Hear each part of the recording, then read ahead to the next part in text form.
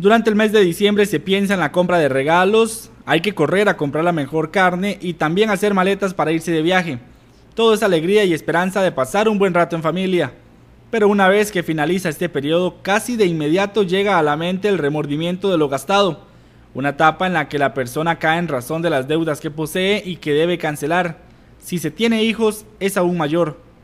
Ante esto se recurre a solicitar dinero a familiares y amigos, una vez agotada esta vía, las casas de empeño se convierten en el principal aliado de los ciudadanos para salir de esa corriente de deudas que sube como la marea y que les llega hasta lo más alto de la conciencia. Eh, bueno, la cuesta de enero ahorita está, no ha arrancado del todo, pero ya está comenzando eh, la gente ya a sentir la cuesta. Ya está comenzando a sentir la cuesta. En el momento está apenas arrancando, todavía la gente todavía como que tiene dinerito porque pero ya, ya ahorita entran los estudiantes y todo eso y ya, ya entonces ya ahí sí comienza la cuesta verdadera. Las herramientas y el oro suelen ser siempre los primeros en ser sacrificados en la lucha por subir la cuesta. En tercer lugar de la lista están esas pantallas que se adquirieron para ver eventos en familia. Bueno, más que todo oro y herramienta. El oro y la herramienta y de ahí ya electrodomésticos en tercer lugar, pero primero oro y herramienta. ¿Las pantallas? Eh, sí, es pantalla, pero, pero está en tercer lugar. Primero el oro, segundo el herramienta y tercero ya el electrodoméstico, eh, refris, pantalla, ya eso ya es, ya está en tercer lugar ya.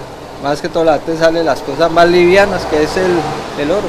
Quienes trabajan en este tipo de lugares saben de lo difícil que es lidiar con personas que se encuentran en apuros económicos.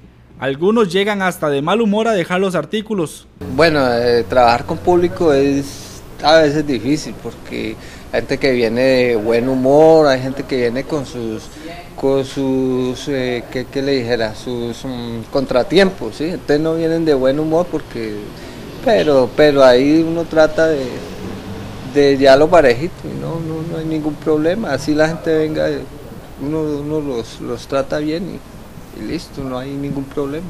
Tome en cuenta que con cada artículo usted debe llevar facturas. De lo contrario, algunos como por ejemplo bicicletas o celulares no se reciben.